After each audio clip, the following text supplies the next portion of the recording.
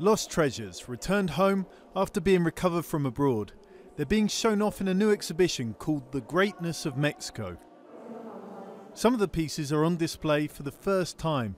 This 1200 year old wall relief came home from Los Angeles.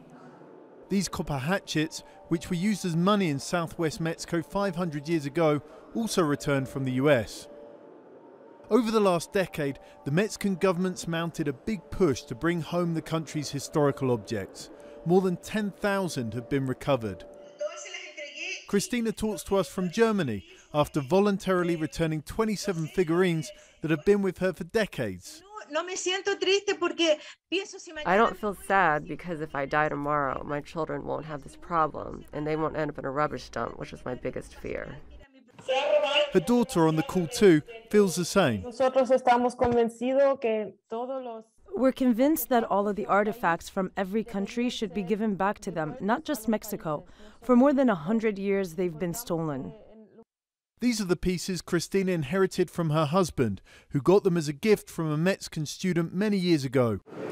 Many of the recovered treasures had a circuitous route abroad, and it's tough to get them back using litigation. Instead, the Mexican governments relied on diplomacy and goodwill.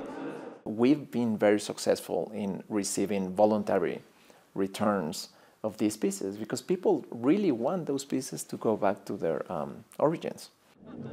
Mexico's long been a paradise for archaeologists and collectors, with temples, tombs, jewels, and ceremonial objects to be found and sometimes whisked away. En este momento donde va creciendo México, Mexico was growing, and a lot of people were looking at it from the 1940s to the 1970s.